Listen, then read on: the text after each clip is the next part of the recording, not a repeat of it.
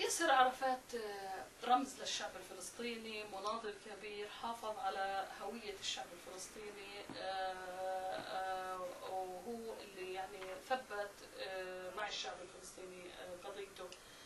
إحنا في هذه المرحلة بأمس الحاجة آه، لوجود ياسر عرفات ولوجود آه، من يستطيعوا أن إنهم يضبطوا الأمور كما هو ياسر عرفات. Yasser Arafat is a very important leadership for the Palestinian people. He he has uh, يعني, uh, very important uh, uh, efforts and uh, contribution in the Palestinian life, at least in two issues. First, to hire the Palestinian identity and to let it come back again as uh, Palestinian people after the Nakba.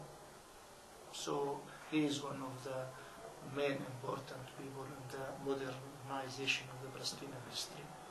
And the other issue, he uh, he he gave very big pressure to the uh, to the methodology of uh, idealism or let's say peace process in general.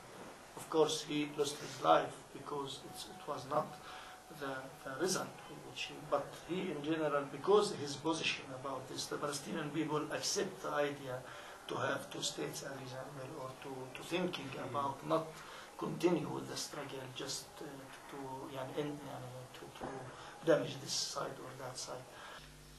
يعني أنا أقول أن ياسر عرفات آه، بتجربته الثورية وببناء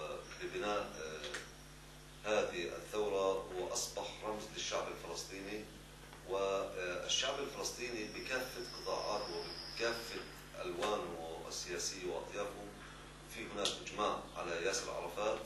لأن ياسر عرفات رفع شعارات كبيرة ناظر طويلا وأسس لمدرسة أعتقد أنها مدرسة النضال الفلسطيني على الصعيد السياسي وعلى الصعيد المقاومي ياسر عرفات يعني قائد وطني قدم للقضية الفلسطينية وضحى من أجل القضية الفلسطينية والشعب الفلسطيني.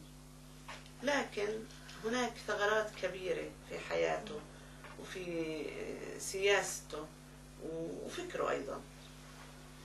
وعندما حوصر ياسر عرفات وز وأنا طبعا هي معنويا يقال أن ياسر عرفات حوصر ولكن حقيقة حقيقة الأمر كان معتقلا في مقره. أذكر قبل استشهاده شهرين أو ثلاثة جلست معه آه، كان يجلس في ممر حتى يضع يداه المصابتان بمرض جلدي. بالشمس. ونتحدث قلت له أنا أشعر بالإحباط. وبدأ الأمل عندي يضعف.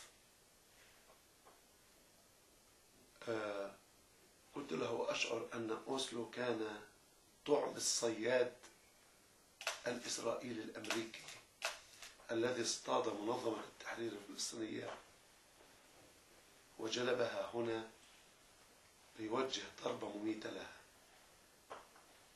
كما استخدمت أمريكا الكويت طعم لاصطياد العراق وصدام حسين وأنا أعرف كان يحب صدام حسين هو. شعرت أنه توتر وقال إنه لو بقي رابين قلت له أنت استخدمت كلمة لو. وما ومن يدري أن اختيار رابين هو جزء من السيناريو. ولكنك تجلس الآن منذ ثلاث سنوات محاصر الجميع تخلى عنك. أليس هذا تبديد للحلم؟ توتر كثيرا وشعرت أنه ينغضب ولكنه كابر وأصر على أن يعطيني موقف أن الأمل قائم والسلام قادم والدولة قادمة هل انتهى التاريخ الفلسطيني بوفاته؟ هل يمكن